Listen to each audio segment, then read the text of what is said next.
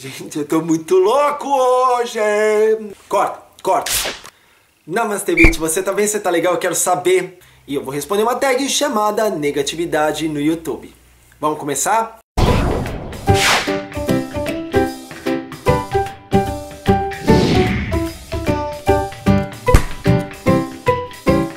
Essa é uma tag curtinha, então eu vou tentar não ser prolixo, porque só tem sete perguntas, eu vou tentar ser rápido. Tudo bem que eu sei que eu não consigo, mas não custa nada tentar, né? Então vamos tentar. Primeira pergunta. O que você acha das pessoas que vão ao teu canal e nem comentam teus vídeos e já te chamam para se inscrever no canal deles?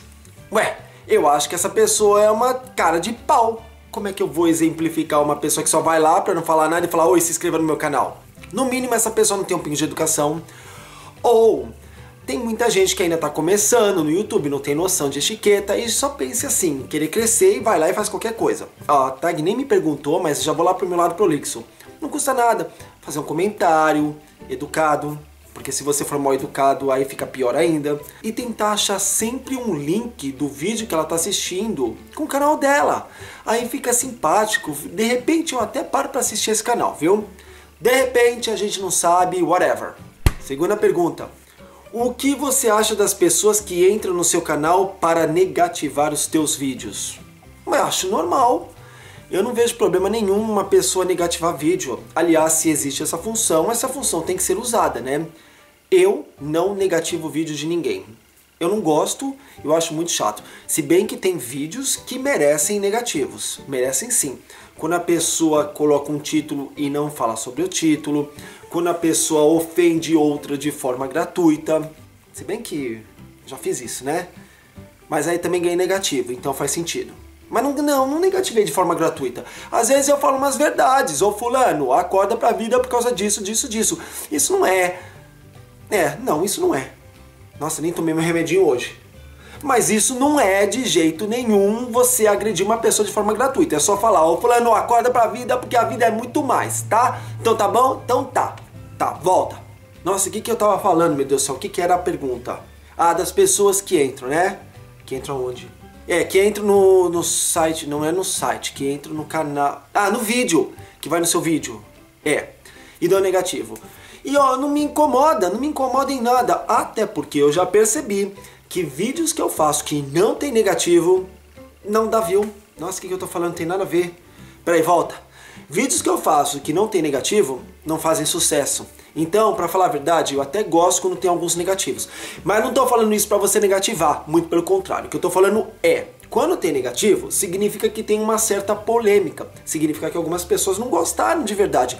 Mas também tem aquelas pessoas que só negativam você porque elas não gostam de você. Já aconteceu também de eu perceber que. Olha, prolixando de novo. Já aconteceu de eu perceber que eu postava um vídeo, não dava assim 10 segundos já tinha negativo. Um, dois, três. Como é que pode, gente, se a pessoa ainda nem assistiu o conteúdo do vídeo para dar negativo? Então isso está mais do que na cara que a pessoa negativa, eu é, me negativa, porque não gosta de mim, né?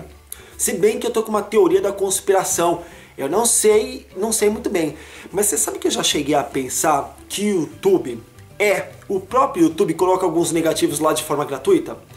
Porque tem alguns vídeos que sinceramente não dá para entender que tenham negativos. Não tô falando do meu canal, mas tem vídeos, por exemplo, de ajuda, que você vê uma coisa bonita ajudando pessoas e vai lá e tem um monte de negativo. Que pessoa em sã consciência negativaria. É. É. Negativaria um vídeo que está ensinando, que está mostrando, ajudando outra pessoa. Não faz sentido. Então eu não sei, isso é só um exemplo, tá? Mas na minha teoria da conspiração, eu acho que o YouTube coloca lá alguns negativos de graça. Eu acho. Posso até estar tá ficando louco, mas eu acho, e é isso, acabou.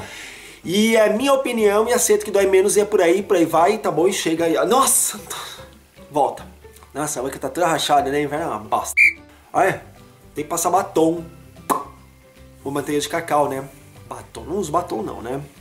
Então é isso, eu acho normal, se quiser negativar, negativa e faz parte, é para isso que existe essa ferramenta. Eu prefiro positivo, mas eu gosto de ter alguns negativos também, porque eu acho que faz parte, faz parte da polêmica, tá? Mas não negativa, já falei. Então tá, pergunta número 3. O que você acha das pessoas que se inscrevem no teu canal e depois que você se inscreve no dela, ela sai. Não, peraí. O que você acha das pessoas que se inscrevem no seu canal? Não, o que você acha das pessoas que se inscrevem no seu canal e depois que você se inscreve nos dela, nossa, que olha, olha, o português tá errado aqui, hein? Então seria assim, ó. E depois que você se inscreve nos canais delas, elas saem do seu canal. Ué, existem duas coisas diferentes. De repente a pessoa pode se inscrever no meu canal eu me inscrevi no canal dela, eu não faço isso por favor nenhum. Ficou estranho isso, né? Não faço por favor. Eu não faço isso em troca de favor em absoluto. Se eu me inscrevi no canal é porque eu gostei. Mas, de repente, essa pessoa começou a me acompanhar, não gostou de alguma coisa, não gostou de algo que eu falei, não gostou de um vídeo, se desinscreveu. Então eu acho isso muito natural, muito normal. Até porque depois de um tempo, eu sempre tento dar uma limpa em alguns canais que eu sou inscrito. Tem alguns canais que me irritam depois de um tempo. Aí eu saio mesmo, depois eu volto, enfim. Então, nesse sentido, eu acho muito normal. Agora, se a pessoa faz isso, se inscrever no meu canal, eu me inscrever no dela, ela sair só porque ela queria ganhar mais um inscrito, azar dela tá perdendo, porque o intuito do YouTube não é esse, não é ter mais inscritos e mais inscritos. Todo mundo quer ter mais inscritos, é claro é que nem uma mídia social como outra qualquer. Eu gosto de ter mais inscritos em todas as minhas mídias sociais, mas é legal você saber que você está atingindo mais pessoas, que você conquista mais amigos, que você troca mais experiências. Esse é o intuito do YouTube. Aliás, esse é o intuito de qualquer mídia social. Só que algumas pessoas elas estão perdidas, porque como existe essa possibilidade de fazer dinheiro com o YouTube, nossa, uma fortuna, hein? Olha como se faz dinheiro com o YouTube. Só que não, Aí as pessoas ficam preocupadas em terem mais e mais e mais inscritos e fazem qualquer coisa. Daqui a pouco vão até estar se prostituindo youtubisticamente para conseguir mais vistos. Vistos? Não, views. Visto, gente, parece que eu tô indo viajar, né? Para conseguir mais inscritos e conseguirem mais views. Só que isso está errado, a pessoa não pode ser tão tosca, não pode ser tão idiota. Mas todo mundo tem sua fase e é por aí, entendeu? Aí eu sei que muita gente me xoxa falando que ah, você fica falando que não quer crescer. Eu nunca falei que eu não quero crescer. Eu só falo que o meu intuito principal nesse canal é fazer amigos. Mas, como existe a possibilidade de monetizar, eu monetizo, claro, eu não sou bobo. Mas esse não é o fator principal de manter um canal no YouTube. Até porque eu tenho uma outra mídia social que também é de vídeos, que se chama Vimeo, que não me paga nada. Que aliás eu pago para fazer parte dela porque eu quero ser um assinante Plus e eu acho uma mídia social maravilhosa. Então se um dia o YouTube acabar, eu tenho todos os meus vídeos no Vimeo e vice-versa. Nossa, será que deu para entender? Então, quarta pergunta. Qual a principal característica que uma youtuber deve ter? Ó, tá vendo? Tô falando que esse português está estranho. Qual a principal característica que um youtuber deve ter? Porque é para todo mundo, né? Eu não sou uma, eu sou um e tudo bem que mulher é uma, mas assim, você sabe que na regra gramatical do português, quando tem um homem e uma mulher, você transforma tudo pro, nega, pro negativo, não, pro masculino. Nossa, eu tô dando uma aula de português, gente do céu, eu tô muito louco hoje. Hoje eu tô, hoje eu tô insano. Mas então, vamos responder essa pergunta que eu já esqueci, que eu não lembro nem qual que era a pergunta. Que era característica... Ah, tipo uma qualidade, né? Eu acho que a pessoa tem que ser honesta e verdadeira, não é por aí, porque a pessoa tem que ser leal ao que ela acredita. Nossa, não estou falando que a pessoa não tem que ser honesta e verdadeira, muito pelo contrário, mas eu estou falando que isso é uma coisa intrínseca do ser humano e às vezes você não fala todas as verdades aqui nessa tela. Então você tem que ser leal ao que você quer realmente fazer. Se você quer fazer um canal para ter milhões de inscritos, aí você tem que ser leal a isso. Então você faz qualquer coisa, como eu já falei, você vai até se prostituir de forma youtubística. Mas se você quer ter um canal para falar com mais gente, ó, pim, né? se você quer ter um canal para falar com mais gente, então tenta descobrir o que, que essas pessoas querem conversar com você. Agora, se elas querem conversar uma coisa que você não quer, seja leal ao que você quer. Por exemplo, no meu caso, que um youtuber como eu deve ter. Ué, vontade de falar, vontade de produzir vídeos, vontade de editar, vontade de estar em contato e vontade de fazer isso com amor. Se você parar para prestar atenção, você vai ver que eu tenho esse canal há anos e eu nunca deixei de fazer vídeo. Já tive meus mimimis internos. Ai meu Deus do céu, tem saco blá, blá, blá. Mas não fico falando isso para todo mundo. Isso eu guardo para mim e para os meus amigos íntimos que não me aguentam. Quando eu tenho esses mimimis, que são as minhas TPMs. Mas, tirando isso, eu sou muito leal a isso, porque eu sempre gostei de televisão. Desde pequeno, sempre gostei de tecnologia também. E agora eu uni o poder da internet com essa coisa de televisão, que é uma coisa meio YouTube, do tube, né, da tela, com o meu amor por tecnologia. E internet está no meio disso. Então, eu sou muito leal ao meu amor. O meu amor é ter esse hobby que eu adoro. E principalmente, adoro conversar. Então, o youtuber tem que ter isso que eu tenho. Isso não significa que eu sou o melhor youtuber do mundo, que tem que ser do jeito que eu sou.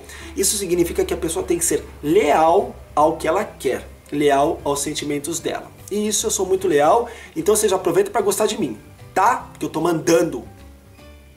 Eu tô parecendo um tonto hoje, né? Nossa, desconsidera. Abafa. Quinta pergunta. O que você acha das pessoas que deixam comentários negativos ou insultos no teu vídeo? Não acho nada. De verdade, não acho nada. Eu acho que eu deveria excluir os comentários negativos e insultos. Mas sinceramente, eu acho que uma pessoa que se dá ao luxo de me insultar ou insultar outra pessoa que faz parte do meu canal, essa pessoa é gentalha.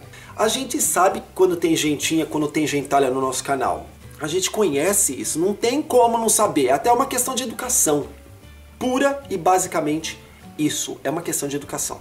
E aí, não fica feio pra mim, fica feio pra essa pessoa. Mesmo que essa pessoa seja uma fake, tá feio pra ela, não importa. E essa pessoa que deixou esse recado, mesmo que ninguém saiba quem ela é, porque ela está escondida atrás de um perfil falso, ela no fundo deve sentir vergonha de ser quem ela é. A gente pode mentir pro mundo inteiro, mas a gente não pode mentir pra si. Então, se essa pessoa é tipo escória da sociedade, se essa pessoa humilha os outros, se essa pessoa é esse tipo de gentalha mesmo, ela pode até estar tá vestida de príncipe e princesa na minha frente.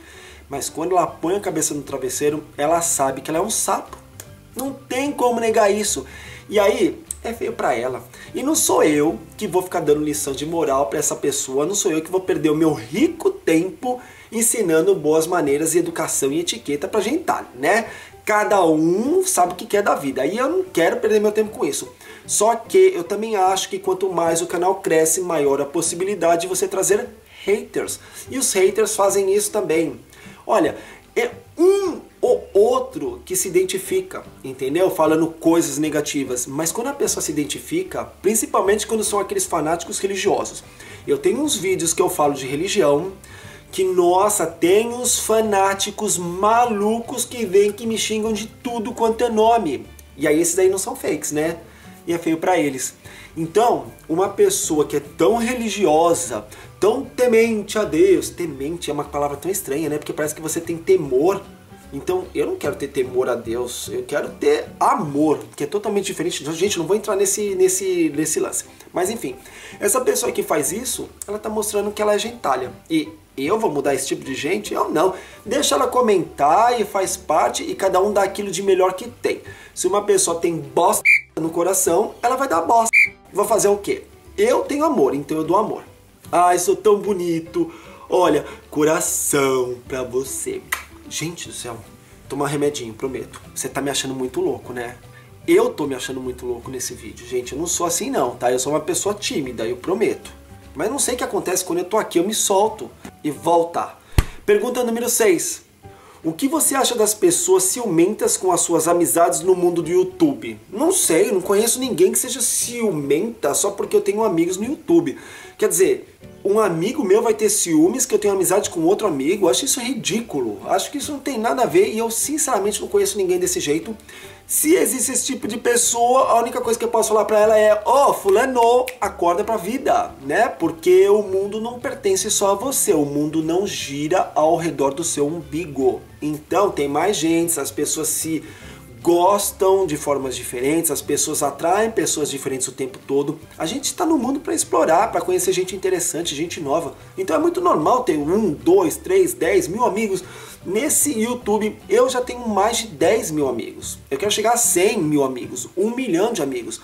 E são amigos sim. A pessoa vai falar, são coleguinhas são inscritos, mas para mim é amigo. Cada um encara a amizade de uma forma diferente. Tem gente que fala que amizade é aquela coisa assim, unha e carne. Para mim, amizade é troca. Você trocou alguma coisa comigo, já tá valendo como amizade. A gente cresceu, a gente melhorou como ser humano.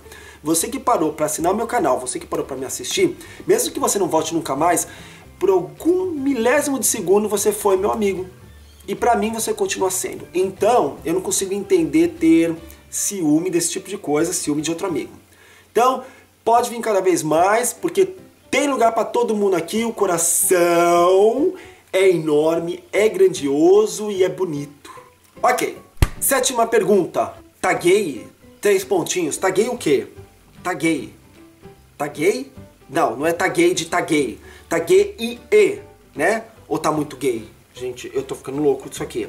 Deve ser para taguear outras pessoas, né? Como eu não gosto de ficar falando nomes, né? Porque eu já fiz isso e não dá muito certo. Então eu vou taguear você. É, mas desde que você se sinta à vontade de responder, tá? Quer responder, responde. Me manda como resposta porque eu vou adorar assistir, tá? Eu gosto muito de saber o que você pensa. Gosto, gosto. De repente eu vou mudar de ideia em relação a outra coisa. De repente eu acabo mudando de ideia em alguma de repente, nossa, hoje tá difícil, viu? Tá difícil. De repente, eu vou acabar mudando de ideia em relação a alguma coisa que eu falei aqui, quem sabe, né? Mas também sou muito para melhor, tá? Porque eu sou uma pessoa que eu melhoro como ser humano, porque é para isso que eu vim para esse mundo, para ser melhor, tá bom? Nossa, eu tô muito besta, tô muito metido hoje. Acho que é isso. Muito obrigado. Uma salva de palmas para mim. E não esquece de avaliar o vídeo. Espero que você tenha gostado. Muito obrigado pela sua audiência e a gente se vê no próximo vídeo. Namaste, bitch. Tchau.